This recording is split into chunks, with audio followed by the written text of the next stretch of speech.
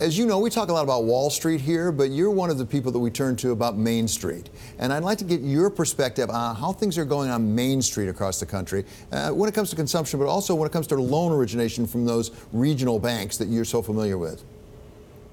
Well, I think overall the economy is doing well for Main Street, and I think you can see that in the attitude, particularly I think the more positive attitude of small businesses who, who've been through a long, tough period, and that's kind of the core part of the banking business. Um, I think for you know banks, there's uh, regional banks. There's good news and bad news. The good news is the tax law was hugely beneficial to regional banks which pay high marginal tax rates, and a good economy looks like uh, lower uh, loan losses. On the challenging side, um, margins are still mighty low for banks. Uh, uh, banks traditionally made most of their money. I mean, this is for a long, long time, borrowing short and lending long, and, and they can't really get much of a margin today.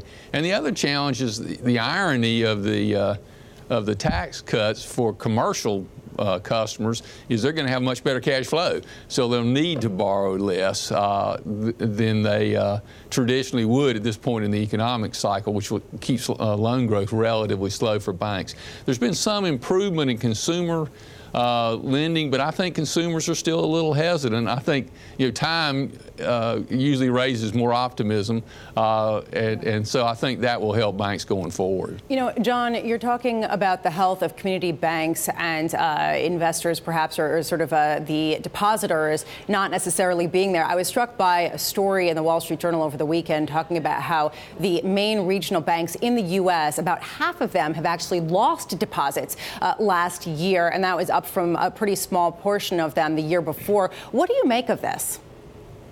I think people have been moving into other kinds of investments, including the traditional customer base of banks. And a lot of deposits come from modestly older people that have saved an amount and they've been watching the stock market, and a lot of them are jumping into the stock market now.